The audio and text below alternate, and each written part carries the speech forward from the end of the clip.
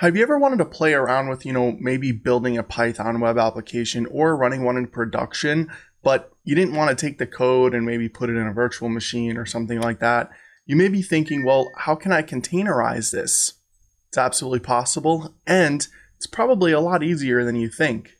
In this video, we're going to learn how to take a Python web API and we're going to containerize it and run it to confirm that it actually works. Now, the really cool thing about this is you could pretty much take any Python code that you want and do the same exact thing. It could be two lines of Python code or it could be 100 lines of Python code.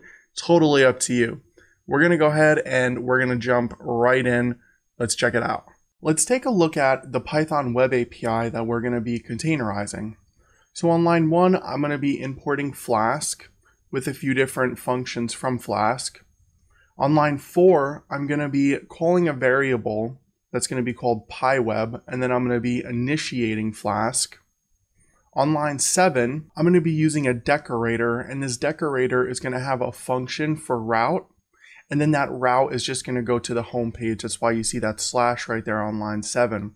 So this decorator is actually coming from this Flask initiation right here. So that's why I'm able to do at PyWeb because the initiation is from the PyWeb variable. Next, on line 8, I'm going to be defining my function, and this is going to be a really straightforward function. It's The web page is literally just going to return, hello YouTube friends. On line 12, I'm going to be running the Python web API, and I'm going to be doing it over host 0000 and then port 5000. So you may be wondering, like, why am I not doing 127.001 to run it locally? I absolutely can do this. That's perfectly fine.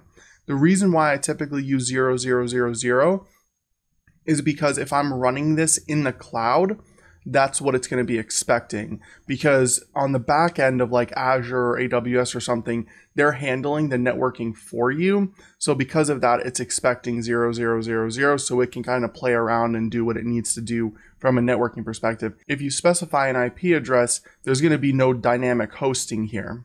But if you want to run this locally, you absolutely can. Just change the host to 127.0.0.1. Okay, so I'm going to open up my requirements here, and the only requirement that I need is the Flask library. The runtime, I'm just going to be using Python 376. Realistically, this isn't needed, but you can add in a runtime if you want to. So now at this point, I'm just going to create a new file, and it's going to be called Docker file. Okay, and then now I can start adding in what my Docker file is going to look like. So from, which is going to be the base image, I'm going to say Python latest. So there's a Docker image strictly for Python, and that's the one we're going to be using. Next, we're going to use run so we can create a new directory. So mkdir build, we're going to name this directory build. We're going to ensure that the working directory is build, because that's going to be where all of our code is going to go. You'll see that in just a second. I'm going to say copy. So what I want to do is I want to copy everything in PyWeb, which is this directory right here. That's where my Python application is. I want to copy all of that into the build directory because that's going to be my working directory. Next, I want to run my requirements on the Python Docker image. So I'm going to say run pip install minus r requirements .txt.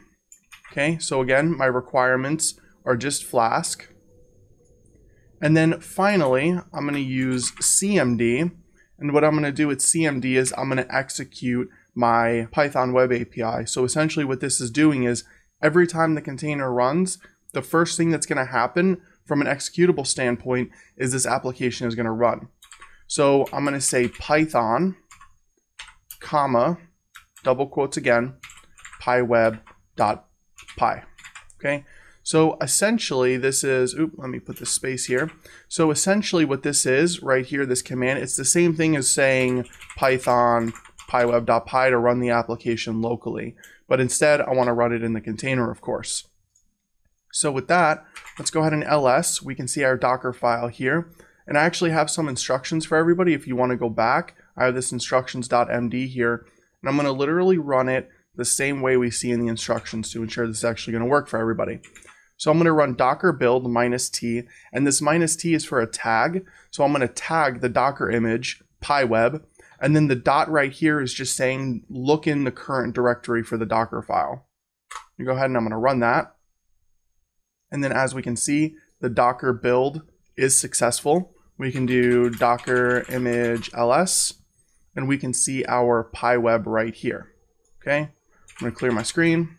And then now what we're going to do is we're going to run the container. So I'm going to run docker run here and minus p for the ports. So the incoming and outgoing or the ports that everyone else is going to see and the ports that the internal Docker networking is going to see should both be 5000.